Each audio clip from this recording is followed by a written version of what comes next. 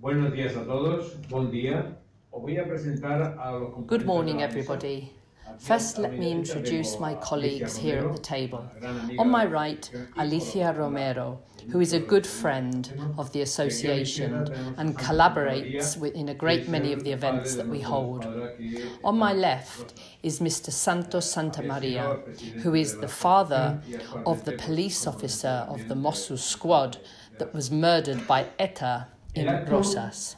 Mr. Santamaria was the president of the association, and currently he is on the board of the association.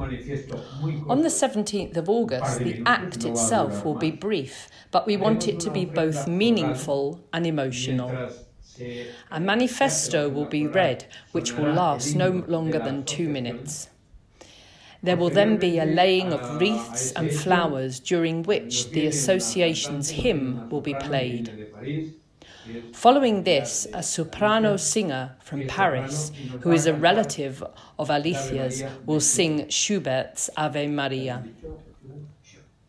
We will then keep one minute silence before bringing the ceremony to a close.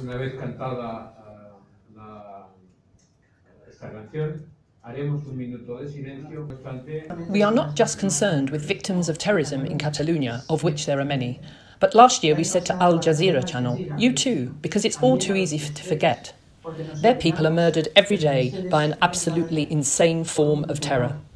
Our attacks are reported by the press, and we pay tribute to them, whilst those other countries, in those other countries, nobody pays tribute to them, and yet they are also victims. For those that die anonymously, and for others whose plight we can uh, raise awareness about, it is for all of them who really did not deserve to lose their lives due to a brutal, insane attack that cannot ever be justified in any way. For all of them, we will be there on the 17th of August, in honour of all these poor souls who lost their lives. Nor must we forget that some people try to change the focus of attention at these events. It isn't right to take advantage of the victims. We must only honour them and show support for their families. This is what we do.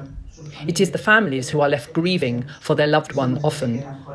The very least these acts can do is to revive their honour and remember the terrible misfortune of having lost a loved one. A ceremony of remembrance and memory to keep that memory alive. To do so is vitally important because it means that society won't forget what happened. And we can't let ourselves forget what happened because fundamentally, terrorist attacks are not directed at anyone in particular, but rather they are against society as a whole.